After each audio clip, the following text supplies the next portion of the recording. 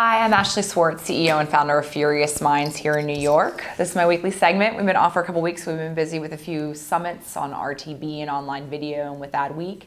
Uh, invite you to be part of the conversation as always. Email me at ashley at furious-minds.com if you want to suggest some topics or have some feedback or call me on my BS. Happy to hear it. So it's been a crazy couple weeks. We've talking a lot about video, and I've actually been talking a lot with uh, my clients about this sort of need to shift from a TV everywhere proposition that unifies video across platforms to a video everywhere proposition. Um, you know, there is this need to sort of unify the ecosystem, and there's this crazy confluence of events. I just want to talk about some stats and some stuff that came out the last couple weeks, and what this means for us as an industry holistically in moving the needle as far as audience participation goes with content and engagement, and in monetizing and strategies of, of broadcasters. So it started with, you know, last week there was a Wall Street Journal article that came out about the fall season premieres and the very, very scary statistics that for under 50, major broadcast networks were down by an average of 15% from last year over 50 didn't change much, which, you know, there were some articles that came out subsequently also said that basically old people watch television. That's it. It's all left. That under, you know, 49 demographic is falling off. And that is obviously the most valuable from an advertising perspective. Cable dropped about um, 1% or so, but still remaining pretty steady. And you know, at the end of the day, the question is, what does this mean for advertisers, and what does this mean from an advertising revenue perspective? If we look at the networks themselves, NBC was actually up 11%. They're performing quite well. ABC down 19, CBS are uh, down 25%, and Fox down 24% year over year uh, for their fall season TV premieres. So what does it mean for ratings drops? Well, you know, a lot of these these premieres uh, received great bounties in the upfronts. You know, advertisers bought on minimum guarantees, and at that point in time, quite often the digital appending adjunct media was given as a loss leader, right? So it was a value add to a, a premium 30 second buy in the second quarter of the year, and uh, that included second screen, digital inventory, etc.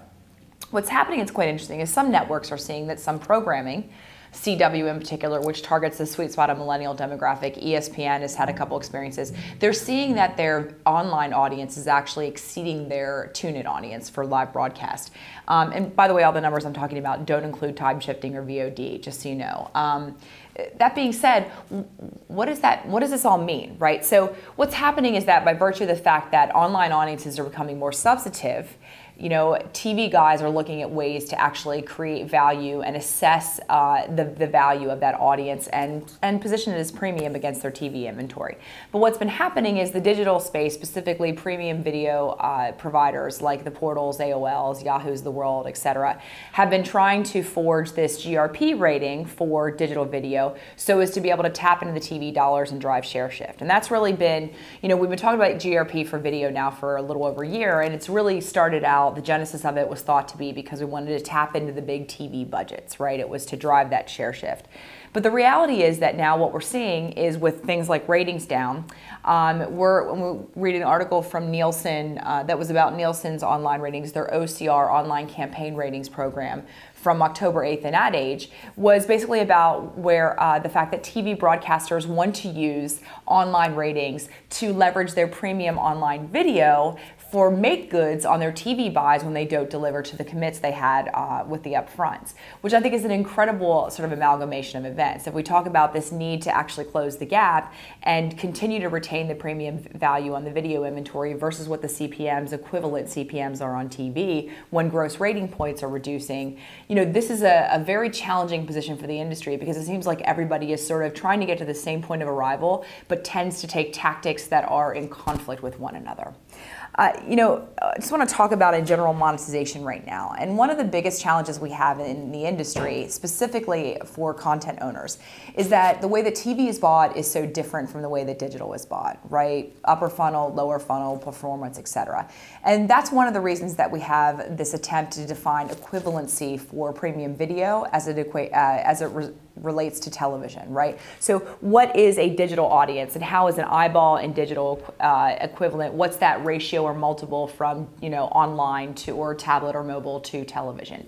And the ability to actually find that and draw that line in the sand makes it a lot easier for purveyors of digital only content or TV only content to sort of aggregate a portfolio of media and sell it at a premium value It's scary though, because if we do define equivalency, or someone like ComScore and Nielsen comes out and comes up with a multiple that a certain number of online eyeballs is equivalent to a TV audience eyeball, that's scary. And I think that's going to have a, a, huge implications downstream for the industry as far as putting a line in the sand as to how media equates. And it doesn't take into consideration the two way communications that exist within a digital medium and that feedback loop and that response path and what engagement really means for a brand. When we talk about buying, TV digital. There's now a third dimension, and this is we had the the RTB summit. I talked at length with Brett Wilson from TubeMogul, and it was really really interested to learn from Brett specifically with TubeMogul's platform that uh, more and more programmatic buying as it relates to online video, which is different from display, which was sort of the the first stage of maturation for RTB and programmatic buying, is about upper funnel. It's about reach and frequency, and about being able to actually drive to a higher you know soft brand metrics like recall, purchase intent, uh, awareness, etc. And this is a, an incredible disruption for digital because typically in the in the world of digital advertising and display, which is what's driven programmatic buying to success, we're really buying on very clear, straightforward, objective uh, performance metrics.